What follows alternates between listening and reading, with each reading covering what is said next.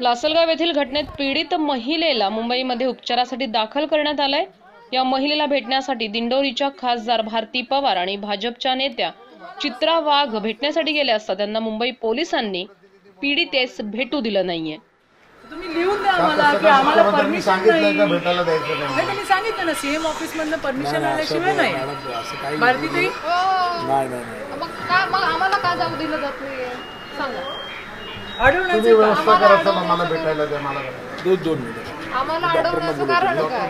साहेब पाच वर्ष आम्ही पण होतो अपोजिशनला असं काय करतो? म्हणजे आम्ही होतो त्याही वेळेला. आजपर्यंत मला असं वाटत नाही महाराष्ट्राच्या इतिहासामध्ये की असं कोणाला पीडितेला आणि आम्ही पण नाही.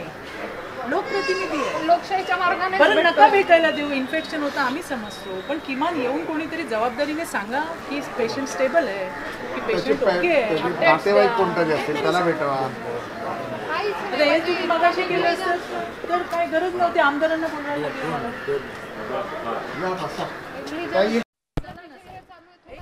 त्यावेळी भारती पवार यांनी सांगितलंय की मी त्या भागाची लोकप्रतिनिधी आहे. त्या भागाचं प्रतिनिधित्व मी करते त्या भागाची खासदार आहे. माझ्या मतदारसंघामध्ये हा प्रकार घडलाय म्हणून मला या महिलेला भेटू द्यावं. परंतु पीडितेस भेटण्यास मज्जाव केला गेलाय. कालच्या घडलेल्या दुर्दैवी घटनेमध्ये लासलगाव येथील जळीत महिला आज मुंबईच्या मसिना हॉस्पिटलमध्ये तिला आणण्यात आली. आज मी तिला भेटण्यासाठी तिथे आली असताना तासाभरापासून मला तिला भेटण्यापासून रोखलेलं आहे. कुठलंही ठोस उत्तर याचं मिळत नाही आहे वारंवार सांगितलं जात आहे की सी एम ओ ऑफिसकडनं तुम्हाला परवानगी नाही आहे कुठलेही डॉक्टर तुम्हाला इथे माहिती द्यायला येत नाही आहे माझ्या प्रश्नांना उत्तरं दिली जात नाही आहे तिची तब्येत कशी आहे तिची विचारपूस करण्यासाठी मी त्या मतदारसंघाची लोकप्रतिनिधी म्हणून एक महिला म्हणून एक डॉक्टर म्हणून एक मानवताच्या दृष्टिकोनातनं विचारपूस करण्याच्या हेतूने मी इथे आली.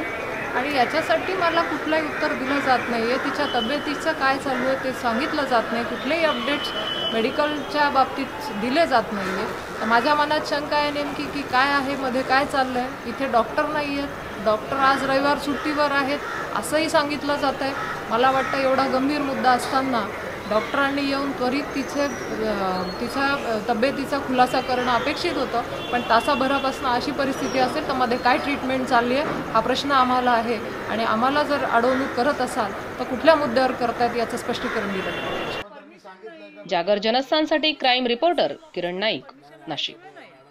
नाही नाही नाही. मग काय मग आम्हाला का जाऊ दिलं जात नाहीये? सांगा.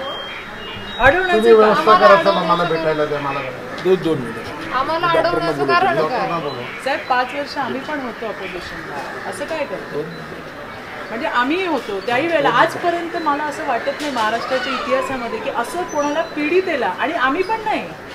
लोकप्रतिनिधी आहे. लोकशाहीच्या मार्गाने बरं नका भेटायला देऊ. इन्फेक्शन होतं आम्ही समजतो. पण किमान येऊन कोणीतरी जबाबदारीने सांगा की पेशंट स्टेबल आहे की पेशंट ओके आहे. त्याचे नातेवाईक कोणतरी असतील त्याला भेटावा. काहीच आता हे तुम्ही मगाशी केलं असतं तर काय गरज नव्हती आमदारांना बोलायला. लागलं मला